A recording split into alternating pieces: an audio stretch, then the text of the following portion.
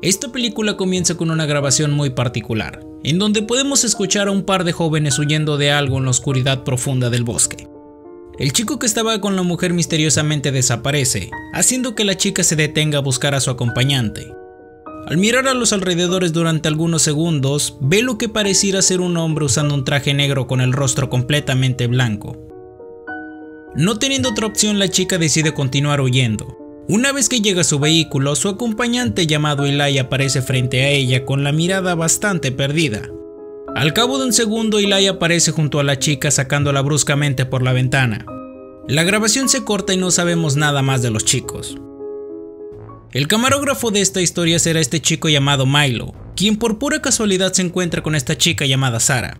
Ella será la nueva reportera de la empresa y ambos trabajarán juntos. Conversando un poco en el baño, ambos terminan Seis meses después descubrimos que Milo estuvo siguiendo y grabando a la chica en todas sus actividades, algo bastante enfermizo. Al llegar a casa vemos que el chico tiene una vida muy solitaria teniendo un canino como su único acompañante. Al día siguiente llega un nuevo reportero que trabajará con Sara y Milo. Por cierto, este chico se llama Charlie.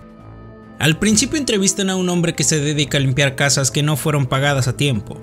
La ventaja de esto es que puede quedarse con todo lo que haya en el interior, al entrar en la primera casa se da cuenta de que estaba completamente sola, algo habitual en aquel trabajo. Sin embargo, las cosas comienzan a ponerse extrañas cuando llegan a la siguiente.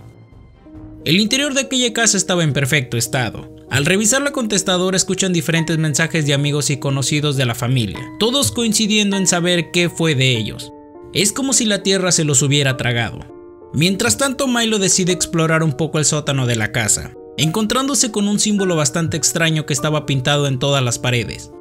Charlie llega con él y ambos encuentran una caja llena de grabaciones. Por alguna extraña razón Charlie pide llevarse aquellas cintas para ver qué contenían. Al principio no hay mayor misterio en aquellas grabaciones. Sin embargo, ambos chicos salen de la habitación dejando reproducir la cinta. Luego de algunos segundos, parece que la grabación ya había terminado, pero aún contenía algunos fragmentos más. En dicha grabación podía verse a la pequeña durmiendo tranquilamente, cuando por algunos segundos se puede ver a una silueta extraña pasar frente a su habitación. Luego de esto, la cámara comienza a fallar. Al día siguiente descubren que el nombre de aquella familia era los Whittle. Al hablar con el dueño de bienes raíces, él les dice que nunca echó a la familia, simplemente un día desaparecieron. Esto solo genera más intriga en los chicos sobre la desaparición de aquella familia. Según testimonios de los pueblerinos, el hijo de Dan, que era el padre de la familia, un día murió arrollado por una lancha. Después de esto, Dan comenzó a filmar todo lo que hacía. En una ocasión una vecina le vio grabando hacia el bosque, asegurando que ahí había alguien. Dan intentó en varias ocasiones ir a la policía mencionándole que había un sujeto que le acosaba, pero la policía hizo caso omiso de su situación. Mientras tanto, Milo decide revisar todas las grabaciones para encontrar alguna pista. Después de mirar cientos y cientos de horas, el chico logra darse cuenta de algo inusual en esta grabación.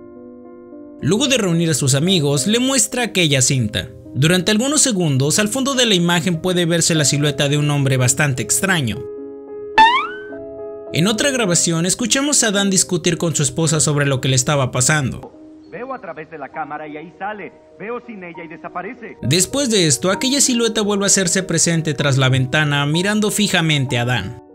Charlie y los demás comienzan a teorizar que aquella persona quizás se trataba de un asesino serial, aunque había ciertas cosas que no coincidían con lo que estaba pasando. Milo sigue revisando las grabaciones descubriendo que aquel extraño sujeto también seguía a la pequeña. Durante algunos segundos, Dan le pasa la cámara a su esposa para que vea que aquella criatura es real. Ahora ve a través de la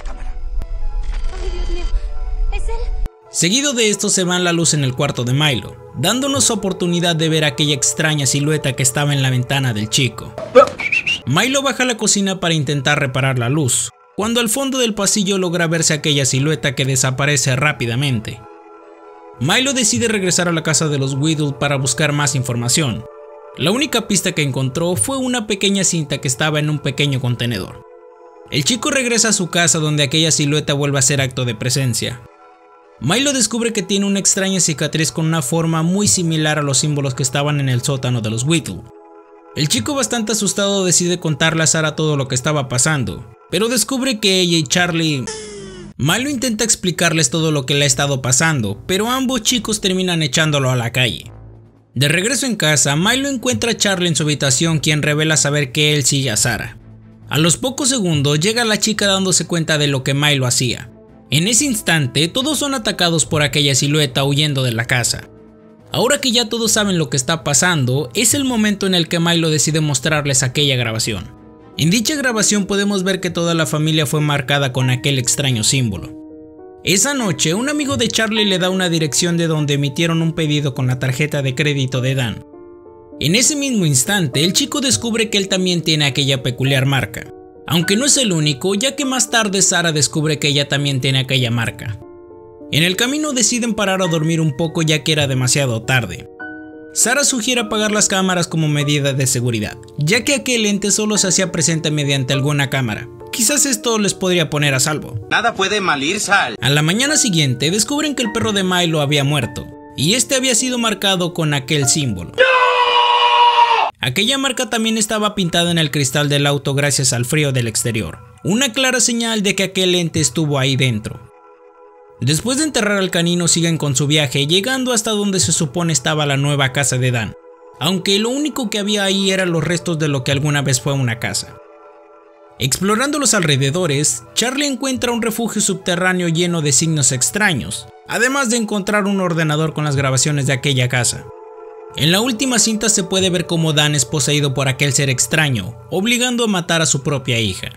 Acto seguido, la mujer se da cuenta de la muerte de su hija noqueando instantáneamente a Dan. Parece que ella también fue controlada por aquel extraño ser, quien le obliga a prender la casa en llamas. Hablando con el sheriff del pueblo descubren que la mujer aún seguía viva, pero este estaba en una institución mental debido a su situación.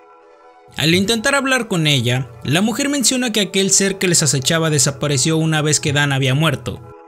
La mujer se da cuenta que Sara tenía la misma marca en el brazo, haciendo que la situación se descontrole.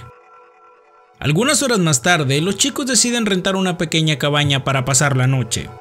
Revisando las grabaciones, Milo descubre que la mujer del psiquiátrico ya no tenía la marca en el brazo. En ese preciso momento son atacados por aquella extraña criatura.